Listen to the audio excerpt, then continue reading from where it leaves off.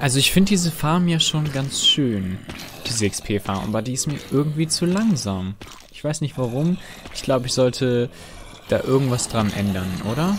Bevor wir mit irgendwas anfangen, herzlich willkommen zurück zu Update Craft Folge 9. Ich würde sagen, wir sind soweit und verzichten auf unser Essen und graden ein bisschen ab. Wait, ich brauche Emeralds.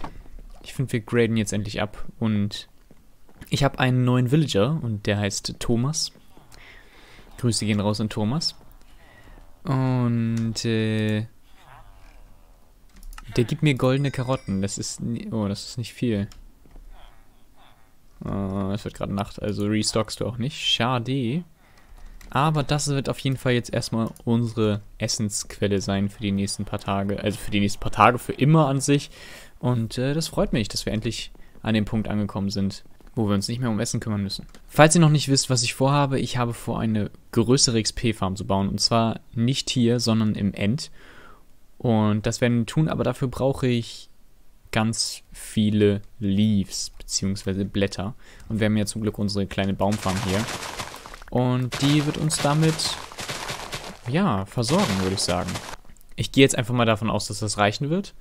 Aber natürlich nicht noch von die komplette Farm. Wir brauchen nämlich noch ein bisschen Wolle. Und die kriegen wir von Schafen. Ich mache immer wieder denselben Fehler. Ich crafte Torches, Fackeln, und finde dann die Fackeln, die ich, ähm, ja, schon mal vorgecraftet hatte. Ja, hm. Passiert, oder? Ich brauche auf jeden Fall noch ein paar Hopper. Am besten... Ich weiß gar nicht. Ich weiß gar nicht, wie viele. Aber schon, schon vier. Vier ist, glaube ich, genug. So, und dann würde ich gerne noch auf jeden Fall noch ein paar Kisten mitnehmen. Habe ich hier Holz unten? Nicht wirklich viel. Wie kommt's? Wie kommt's? Aber wir haben genug Holz oben.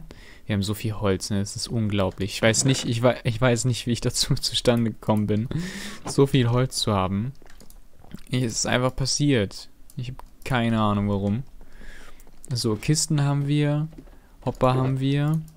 Dann brauche ich am besten noch Daylight Sensors.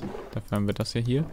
Da haben wir noch das Zeug und Glas, oder nicht? Glas, Glas, Glas, Glas. Müsste ich auch jede Menge haben. Glas. Sand. Glas. Ja, da habe ich nämlich ein bisschen zu viel gemacht für, weil ich habe das voll überschätzt. So, ein paar Daylight Sensor. Aber nur vier. Haben wir noch mehr Quarz? Bitte sag mir, dass wir noch mehr irgendwo haben. Ähm, Quarz. Quarz. Kein Quarz? Kann nicht sein. Wofür habe ich das denn verbraucht? Wir haben eindeutig mehr Quarz gesammelt als das. Das kann ich mir jetzt nicht vorstellen. Das ist ja komisch. Ich auf jeden Fall hole ich noch ein bisschen, damit wir mindestens neun von den Dingern ähm, craften können. Weil das wäre schon relativ wichtig und am besten die Fortune Pickaxe benutzen. Ähm, muss jetzt nur ein bisschen was finden. Da. Genau. Jetzt ist der Speed-Effekt weg. Aber mit Fortune 3 müssten wir ziemlich schnell ziemlich viel bekommen. Ich stell mir vor, ich habe mich da drauf gestellt. Deswegen hasse ich den Nether. Des deswegen kann ich Nether einfach nicht ab. Das funktioniert einfach für mich nicht. Das ist einfach...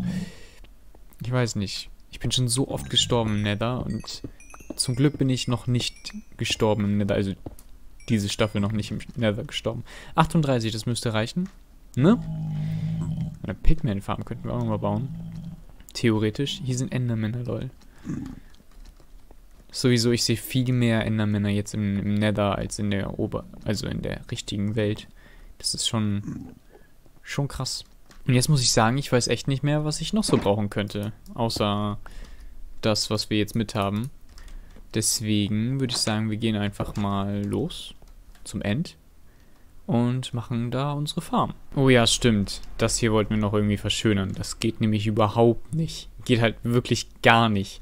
Wie kann man, wie kann man nur sowas machen? Also, wie, wie kommt man nur da drauf, sowas irgendwie so stehen zu lassen? Also überhaupt, dass es so, so gespawnt ist sozusagen, finde ich schon, schon krass. Okay, also ist jetzt die Frage, wo wir das hinbauen. Ich würde jetzt einfach sagen, wir bauen es hier hin. Hier so einfach über übers Nichts. Wir müssen halt nach ganz unten. Wir sind jetzt auf Y-Level ähm, 54? 53? Wir müssen ganz nach unten auf Level 0, damit das funktioniert. Also ich bin auf jeden Fall froh, dass es sowas wie eine Leiter gibt. Weil sonst, äh, ja, wäre ich schon öfters gestorben. sagen wir, sagen wir es so. Das wäre nicht, nicht schön geworden. Überhaupt nicht schön. Aber zum Glück haben wir sowas wie eine Leiter. Und äh, können dann auch mal aus Versehen vom Rand fallen. So, also ich habe es jetzt schon geschafft, bis äh, auf Ebene 1 zu kommen. Jetzt mache ich das hier noch ein bisschen breiter, damit ich hier runter sprinten kann, ohne ähm, ja, das Gefühl zu haben, ich, ich muss jedes Mal sterben. Falls ihr euch fragt, wie ich es geschafft habe, hier runter auf die Ebene 1 zu kommen. Ähm, ich habe äh, ganz normal den Wassertrick benutzt und dann, äh, ja, gebaut, bis es nicht mehr ging, ne? genau, so habe ich das einfach gemacht. Und jetzt kommen wir zu dem Teil, der schön ist. Und zwar werden wir jetzt die Farm bauen. Und dafür müssen wir jetzt erstmal kurz F3G anmachen, damit wir die Chunks sehen. Und wir müssten, wir suchen uns jetzt einen Chunk aus. Da müssen wir erstmal sowieso ein bisschen weiter weggehen jetzt von hier. Und dann, wir nehmen jetzt einfach hier den nächsten Chunk. Und in dem machen wir dann die Farm. So, ich habe mir jetzt diesen Chunk hier ausgesucht, also der hier, der jetzt hier kommt. Und ich hoffe, wir sind nicht zu nah an der Hauptinsel dran. Ich hoffe es einfach mal. Ich hoffe es einfach mal. Eins, zwei, drei, vier, fünf. Perfekt. Dann ähm, brauche ich noch den anderen Block. Als ob ich jetzt die Schalker-Blocks da stehen gelassen habe. Ich bin auch so schlau. Also, es geht weiter. Wir brauchen jetzt unseren Hauptblock. Damit, dann nehmen wir da den hier. Ja.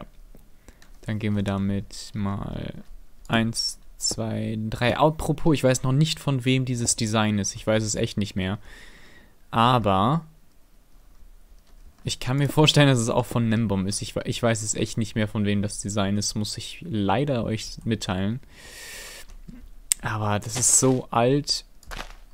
Ich will nicht wissen, wie oft ich dieses jetzt schon gebaut habe. 1, 2, 3, 4, 5. Perfekt. Dann haben wir den ganzen Chunk hier ausgefüllt. So, damit haben wir eine Spawning-Plattform, die genau im Chunk drin ist. Also in, im Chunk drin ist. Und jetzt werden wir den nächsten Schritt machen. Und zwar müssen wir jetzt hier, ich hoffe, die Shaker-Box bleibt im Invent. Uff. Einfach nur uff. Sieht schon geil aus mit den Chunk Borders an. Sieht schon nice aus. Falls ihr es noch nicht verstanden habt, wir bauen ein, eine Enderman XP Farm. Also, just so you know. Ich meine, ich habe, okay, ich habe noch ein bisschen. Ich glaube, wir müssen doch nochmal zurück und noch mehr Leaves holen. Sad. Und zwar müssen wir jetzt als nächstes, also ich habe jetzt hier mal eine kleine Plattform aufgebaut. So sieht sie ungefähr aus. Also da kommen dann die Enderperlen, wenn, man sie, wenn wir sie abschlachten, so. Aber wir müssen jetzt dafür sorgen, dass die Endermänner halt hierher kommen wollen, beziehungsweise extra hierher laufen. Und natürlich mögen Endermänner keine Endermite. Genau. Die Endermite, die kann man ja spawnen lassen. Das ist ja nichts leichter als das. Und ich glaube, auf diesen beiden brauchen wir gar keinen. Die nehmen wir weg.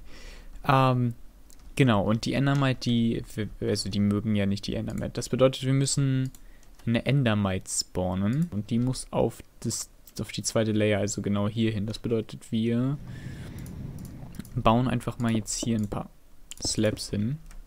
Kann ich da hochspringen? Nee, natürlich kann ich da nicht hochspringen. Aber ich könnte so da hochspringen, genau. Okay, deswegen würde ich sagen, wir spawnen die auf dieser Ebene. Warte, ich weiß gerade nicht, welches genau die gleiche Höhe ist. Ich habe keine Ahnung. Ich, ja, okay, das ist richtig.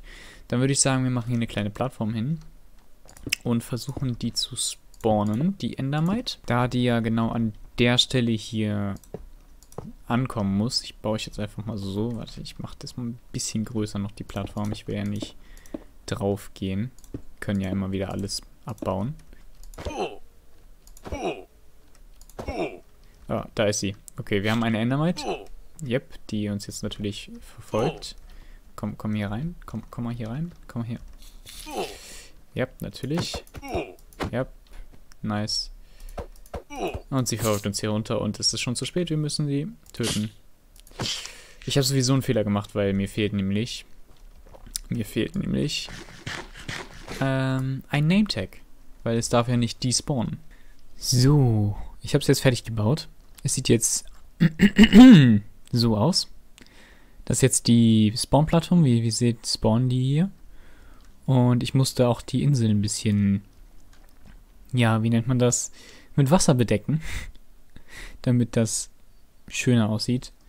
Und das ist die reinste XP-Farm. Am besten, ihr habt eins äh, ohne Fire, also ohne Flame drauf, weil sonst äh, können die sich ja zu euch hinterteleportieren. Also wenn ich jetzt hier stehen würde, könnten sich hier welche hinteleportieren, weil sie ähm, sauer auf mich sind, weil ich sie ja, ja, ein Feuer gesetzt, ein Brand gesetzt habe sozusagen. So passiert das nicht. Ihr dürft natürlich nicht vergessen, hier noch die, die, ich weiß gerade gar nicht, wie das heißt, Carpet heißt es auf Englisch, dahin zu setzen, weil sonst das XP halt in den Hoppern stecken bleibt. Ich würde euch empfehlen, wenn ihr das baut, baut es auf jeden Fall so weit weg, dass ihr die Insel nicht mehr sehen könnt. Also dass sie nicht mehr in eurem in eurer Render Distance drin sind. Weil wie ihr seht, hier sammeln sich jetzt die Endermänner. Genau, und wir wollen ja nicht, dass noch woanders Endermänner spawnen, sondern nur, nur halt an der Stelle. Ich habe auch den äh, Beacon in einer Folge runtergesetzt. Äh, der müsste eigentlich an sein. Ja, genau. Ich habe ihn hier hingesetzt, also nach ganz unten, damit äh, er auf der ganzen Höhe halt ist. Sonst, also nur 90, also nach oben komplett immer, aber nach unten nur 90 Blöcke. In alle anderen Richtungen nur 90 Blöcke. Uh, ein, ein Trader. Ich glaube nicht, dass der irgendwas Schönes dabei hat. Black Dye, das wäre vielleicht was. Aber ansonsten Blue Eyes. Für 6 Emeralds. Nee, kann, kann man, können wir echt vergessen. Erstmal hier die die zuerst. Weil sonst spucken die uns an, wenn wir ihn killen. So, alles klar. So haben wir nochmal äh, umsonst Leder und zwei Leads bekommen. Genau, und was ich jetzt machen wollte, ist, ich wollte den hier abbauen. Ich hatte, ich wisst ihr selbst, wenn man schnell abbauen kann, ist es immer noch ganz schön langsam. Und außerdem wollte ich noch jetzt was Neues machen, und zwar also zum Schluss der Folge sozusagen. Und zwar wollte ich, ich habe da Wasser unten gemacht, keine Sorge. Und zwar wollte ich das jetzt ändern zu Haste 2. Weil wir haben jetzt hier die Möglichkeit dazu. Äh, ich, das letzte Mal hat es funktioniert. Genau. Und dann würde ich sagen, wir gehen runter. Falsche Richtung. Und unten haben wir dann Haste 2. Und Haste 2 bedeutet eigentlich nur, das werdet ihr gleich sehen. Wenn ihr eine Efficiency 5, viele kennen das bestimmt schon. Wenn ihr Efficiency 5 habt und Haste 2, dann könnt ihr einfach so. Dann braucht ihr nicht mehr Strip zu meinen. Und das ist genau das, was ich will. Genau das, was ich brauche. Wir machen hier mal, wir fangen jetzt einfach hier mal an. Genau, und dann können wir einfach so alles weg, einfach wegziehen. Und das finde ich gut. Ich wollte jetzt ein bisschen Strip Mine. Ich wollte jetzt, also nicht mehr Strip Mine, sondern jetzt, ich würde jetzt so das alles wegziehen. Habe ich Shulkerboxen im Inventar natürlich nicht. Gehe ich gleich nochmal hoch und hole welche. Aber auf jeden Fall können wir jetzt so alles wegziehen. Und mal gucken, ob ich noch ein paar Ressourcen dabei rauskriege. So, das war's erstmal, glaube ich, weil meine Pickaxe schon ziemlich... Ah, 157 hat sie noch, aber von 1000 von 1561. Deswegen, ja, ich habe es hingekriegt, mh, mm, 13 Diamanten zu bekommen, also 13 Diamanten Ohr zu bekommen. Wir haben ja noch eine Fortune 3 Pickaxe oben, die natürlich das nochmal vervielfältigen wird und das werden wir jetzt sofort tun. So, ich habe jetzt einen kleinen Turm gebaut und mit klein meine ich ja, schon, schon ein bisschen groß. Und zwar, kann man das sehen? Ja, ähm, einfach aus allem, was, was wir ge, ja, ge, ge, geholt haben an sich. Und ich würde jetzt gerne jetzt hier die Fortune Pickaxe nehmen und einmal komplett runtergehen und mal sehen, wie viel wir rausbekommen. Wir haben jetzt hier ein paar Diamanten, ich werde mitzählen. Einen, da haben wir einen rausbekommen. Zwei, davon haben wir auch noch einen rausbekommen. Drei, bisher nur Pech. Sechs, okay. Also von dem dritten haben wir jetzt gleich. Richtig, das war nur einer. Auch nur einer. Das waren zwei. Das, das war nur einer. Und wie viel haben wir raus? 20 aus, ähm, ich habe nicht mitgezählt. Dann könnt ihr hier nochmal jetzt sehen, was ich bekommen habe. Ist nicht wirklich viel, aber ich habe auch nicht wirklich lange gemeint. Ich war jetzt vielleicht, keine Ahnung, 15 Minuten habe ich höchstens die Pickaxe bis zu 100 Durability runtergeschraubt und habe das alles bekommen. Und ich finde, das äh, spricht für sich, dass wenn man mal eine Stunde meinen geht, dass man dann, ähm, stehen dazu vielleicht die Diamanten drin? Nein, äh, mehr als das drei, also wenn ich jetzt eine Stunde meinen würde und ich habe in einer Viertelstunde 22 Diamanten bekommen, dann kann ich mir vorstellen, dass man ziemlich viel bekommen kann, wenn man das mal richtig macht. So, dann würde ich eine Sache gerne noch machen, bevor wir die Folge beenden. Vielleicht ein bisschen früh, ich weiß, wir haben nicht viel gemacht, aber wir haben halt diese Farm gebaut und die hat doch im Endeffekt ein bisschen länger gedauert, als, äh, als ich wollte. Aber weil ich halt, ja, weil im N zu bauen ist halt echt schon etwas, was man nicht gerne macht.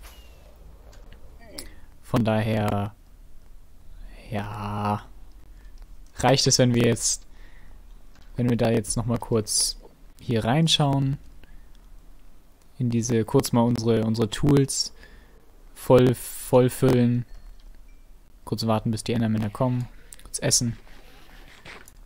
Tun wir mal die... Boah, das ist trotzdem viel zu laut hier. Ich dachte, ich könnte... Aber ich konnte nicht. So. Bisschen runterdrehen hier. Die wollte ich eigentlich in die Opfern tun. Das müssen wir mal wegmachen. Alle Mending Tools. Alle Sachen, die so aufgeladbar sind. Und dann schauen wir mal, wie lange wir dafür brauchen, die aufzuladen.